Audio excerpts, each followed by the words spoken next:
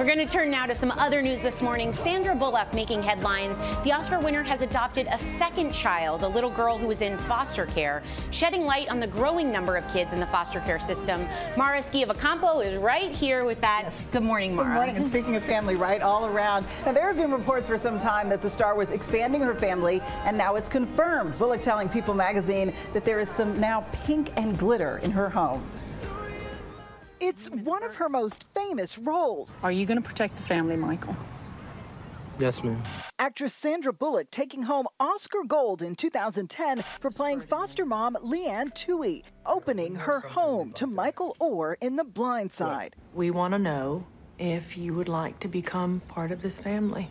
This morning, the star revealing that her real life has taken a similar turn, sharing in this week's People magazine that she's adopted a child from foster care, three and a half year old Laila.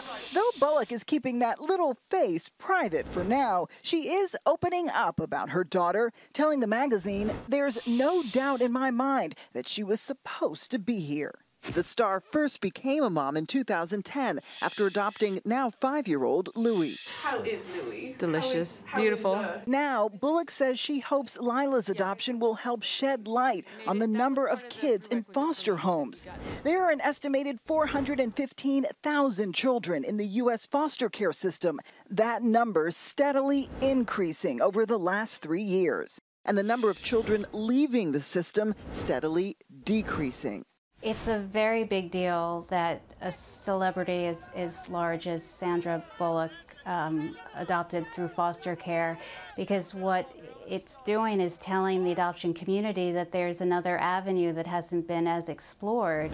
The Levy family thinks it's a big deal too. Oh, Sarah, Foster care is important and, and these kids need homes. Of their seven kids, five are adopted, one from the U.S. foster care system, like Laila and they're thrilled. One of Hollywood's biggest actresses is speaking out on an issue that hits so close to home. You don't have to be her to be a foster and adoptive parent. You don't have to have the money that she has and the lifestyle that she has.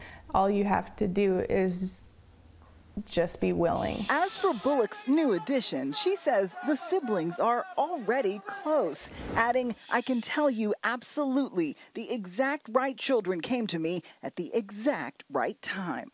And we're also happy for her. Now, Bullock says she fostered Laila for some time, but she didn't want to go public until the adoption was complete, which is understandable. Now, George, any family interested in foster adoption can get more information at adoptuskids.org.